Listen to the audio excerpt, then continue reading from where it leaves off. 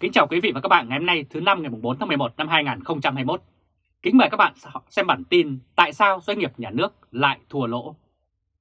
Từ 20 năm trước, Đảng và Nhà nước Việt Nam đã bắt đầu nhận thức được tính kém hiệu quả của các doanh nghiệp nhà nước và đặt vấn đề sắp xếp lại doanh nghiệp nhà nước, trọng tâm là chương trình cổ phần hóa. Sau 20 năm, chương trình này có đạt được một số kết quả nhất định, nhưng hàng loạt doanh nghiệp nhà nước vẫn tiếp tục thua lỗ, âm vốn sở hữu Tại sao lại như vậy và số tiền lỗ này càng ngày càng lớn? Đây là hình ảnh trong 3 tháng đầu năm nay, Vietnam Airlines đã lỗ 4.800 tỷ đồng và dự kiến hết tháng 6 sẽ bị lỗ tiếp trên 10.000 tỷ đồng. Vietnam Airlines đang nợ quá hạn 6.240 tỷ đồng, bên bờ vực phá sản. Nhưng Vietnam Airlines là loại doanh nghiệp chết mà không được chôn. Vào ngày 9 tháng 7 năm 2021, Thứ trưởng Bộ Kế hoạch và Đầu tư Trần Duy Đông đã có buổi chia sẻ với truyền thông thông tấn về tiêu chí phân loại các doanh nghiệp nhà nước, doanh nghiệp có vốn nhà nước thực hiện chuyển đổi sở hữu, sắp xếp lại thoái vốn giai đoạn 2021-2025, được ban hành theo quyết định của chính phủ. Tháng 9 năm ngoái, Bộ Kế hoạch và Đầu tư đã lấy ý kiến về đề án quản trị doanh nghiệp nhà nước cho biết số lượng doanh nghiệp nhà nước trong tình trạng bị phá sản theo luật định là rất lớn Tuy nhiên, số lượng doanh nghiệp nhà nước bị phá sản trên thực tế lại rất thấp. Doanh nghiệp nhà nước thì thua lỗ, chết mà không được chôn. Như ý kiến của nhiều chuyên gia đã nắm vai trò quan trọng trong nền kinh tế, nhưng doanh nghiệp nhà nước vừa qua đã vẽ lên bức tranh nhiều mặt tối nhất. Đó là hiệu quả sản xuất kinh doanh kém so với nguồn lực đầu tư, thậm chí là thua lỗ, nợ nần, xảy ra nhiều vụ việc tiêu cực, gây hiệu quả kinh tế rất lớn nhiều doanh nghiệp nhà nước mất phương hướng. Tại cùng, doanh nghiệp nhà nước, mục tiêu của chủ sở hữu nhà nước chưa thực sự rõ ràng. Nhiều trường hợp chưa nhất quán với mục tiêu đầu tư vốn nhà nước đã được pháp luật quy định. Tiến hành xây dựng và lấy ý kiến về đề án quản trị doanh nghiệp nhà nước, Bộ Kế hoạch và Đầu tư đã thẳng thắn đánh giá rằng thể chế quản trị doanh nghiệp nhà nước, đặc biệt là việc triển khai trên thực tế còn có khoảng cách so với thông lệ quốc tế, dẫn tới doanh nghiệp nhà nước chưa hoàn thành mục tiêu đáp ứng các chuẩn mục quốc tế về quản trị doanh nghiệp. Và việc duy trì quá nhiều doanh nghiệp 100% vốn nhà nước là giao cản để chủ sở hữu nhà nước áp dụng các thông lệ tốt về quản trị doanh nghiệp. Đây là hình ảnh dự án nhiệt điện Long Phú 1 đã đầu tư tới 1,2 tỷ đô la, nay không có lối ra vì bị Mỹ cấm vận toàn phần. Các nhóm lợi ích đang phá doanh nghiệp nhà nước trong suốt thời gian qua, khu vực doanh nghiệp nhà nước vẫn được dành những ưu ái về mọi mặt, thể hiện qua việc các đơn vị chủ quản như bộ, ngành, chính quyền địa phương vẫn tạo ra những đặc quyền cho các doanh nghiệp của mình. Đó là ưu ái về nguồn vốn, tài nguyên, đất đai, tuyển dụng nhân lực, vân vân. Do được cưng chiều và được hưởng các đặc quyền đặc lợi mà không phải tự cạnh tranh công bằng với các thành phần kinh tế khác, nên các doanh nghiệp nhà nước ít có sự sáng tạo. Chuyên gia kinh tế Nguyễn Minh Phong cho rằng khi chúng ta dành cho doanh nghiệp nhà nước những lợi thế đặc quyền thì đó là cớ để người ta níu kéo, chậm tái cơ cấu để hưởng những đặc quyền đó. Ông Trần Quang Nghị, Chủ tịch Hội đồng Quản trị Tập đoàn Dệt May Việt Nam đã nêu một ví dụ thực tế. Nhà nước không quá tạo áp lực về cổ phần hóa ở các tập đoàn, tổng công ty lớn mà chỉ dừng lại ở yêu cầu bảo toàn và phát triển vốn, chứ không yêu cầu về chỉ tiêu cổ tức, tốc độ tăng trưởng tiền lương của người lao động. Tình hình trên đã tạo ra nghịch lý là lãnh đạo các tập đoàn, tổng công ty nhà nước là những ông chủ giả, tiêu vốn của nhà nước nhưng lại là những ông chủ thật. Từ đó tạo ra tâm lý không cần thiết phải đẩy nhanh tốc độ cổ phần hóa để trở thành người làm thuê thật sự.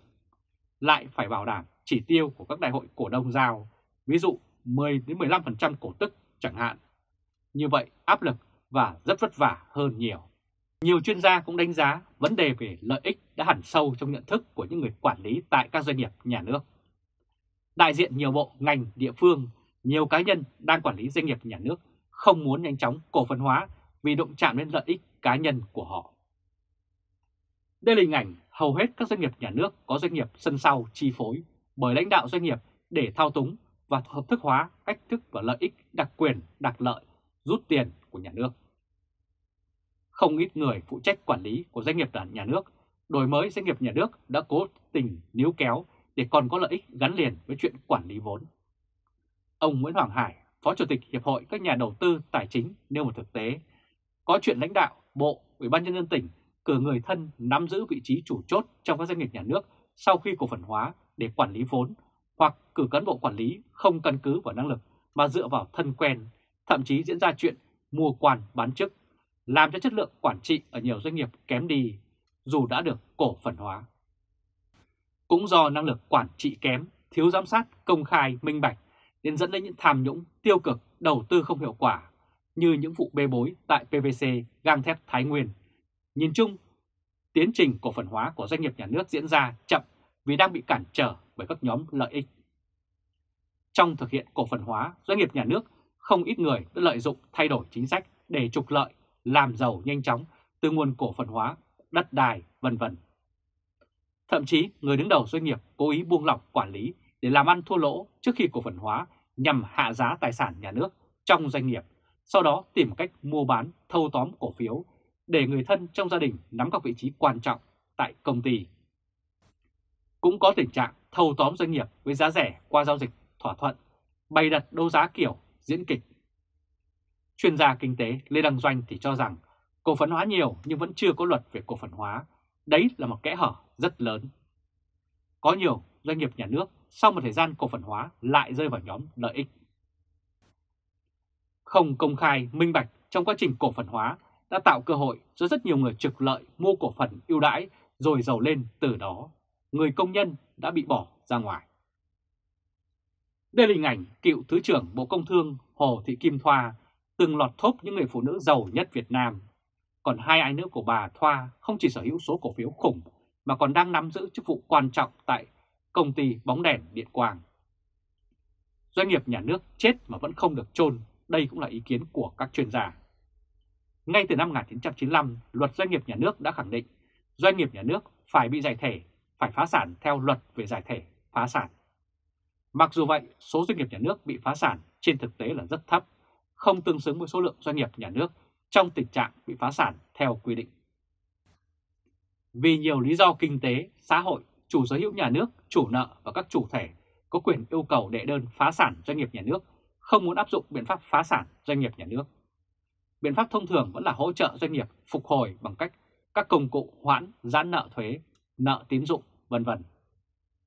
Việc xử lý 12 dự án yếu kém của ngành công thương là một ví dụ. Một bất cập khác là các cơ quan đại diện chủ sở hữu có quyền can thiệp mạnh vào hoạt động của doanh nghiệp. Tuy nhiên, khi dự án thua lỗ, thất thoát, lại khó quy trách nhiệm cho đại diện chủ sở hữu. Theo Bộ Kế hoạch và Đầu tư, chủ sở hữu nhà nước còn quyết định nhiều vấn đề thuộc lĩnh vực quản trị kinh doanh, nhất là doanh nghiệp 100% vốn nhà nước. Chẳng hạn với doanh nghiệp nhà nước nắm giữ tới 100% vốn điều lệ, hệ thống pháp luật quy định doanh nghiệp phải trình cơ quan đại diện chủ quản, chủ sở hữu và các cơ quan liên quan xem xét, quyết định những vấn đề thuộc lĩnh vực quản trị doanh nghiệp như quyết định bổ nhiệm, bổ nhiệm lại, miễn nhiệm, khen thưởng, kỷ luật, tiền lương,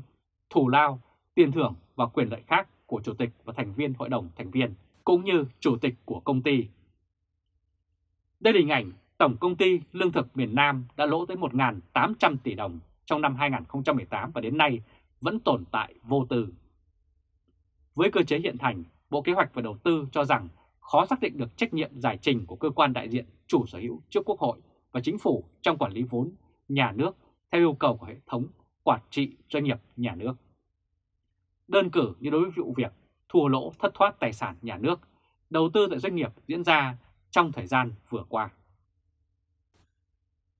Đại biểu Quốc hội Vũ Tiến Lộc tại Thái Bình cũng nhận xét rằng kết quả giám sát của Quốc hội đã cho thấy một thực trạng đáng buồn. Lẽ ra doanh nghiệp nhà nước phải đóng vai trò dẫn dắt trong nền kinh tế thì các chỉ tiêu hoạt động của các khu vực này lại đang ở vị trí khóa đuôi. Hiệu quả sử dụng vốn của các doanh nghiệp nhà nước luôn thấp và rất thấp hơn các doanh nghiệp thành phần kinh tế khác. Mức sinh lời trên vốn chủ sở hữu và chủ tài sản của doanh nghiệp nhà nước không chỉ ở mức thấp mà còn có xu hướng giảm liên tục theo thời gian. Những tồn tại yếu kém trong quản lý, sử dụng vốn và tài sản nhà nước tại doanh nghiệp của cổ phần hóa doanh nghiệp nhà nước được chỉ rõ trong báo cáo kết quả giám sát của Quốc hội là do hệ thống pháp luật liên quan đến hoạt động của doanh nghiệp nhà nước, cổ phần hóa doanh nghiệp nhà nước còn trồng chéo, thiếu rõ ràng, chưa tạo đầy đủ quyền chủ động cho các doanh nghiệp. Chúng ta cũng vẫn đang thiếu hệ thống công cụ đánh giá tổng thể về quản trị doanh nghiệp và hiệu quả hoạt động của các doanh nghiệp nhà nước. Quý vị và các bạn vừa theo dõi chương trình truyền hình trực tiếp của Lê Trung Khoa, Thời báo chấm ngày hôm nay thứ năm ngày 4 tháng 11 năm 2021 với bản tin Tại sao doanh nghiệp nhà nước lại thua lỗ? Quý vị và các bạn hãy chia sẻ video này cho nhiều người biết và bấm nút theo dõi YouTube và Facebook của Thời báo chấm để luôn được cập nhật những bản tin mới nhất, nhanh nhất và trung thực nhất. Từ Berlin, Cộng hòa Liên bang Đức, chào các bạn và hẹn gặp lại các bạn ở bản tin lần tới. Trung Khoa, Thời báo, chấm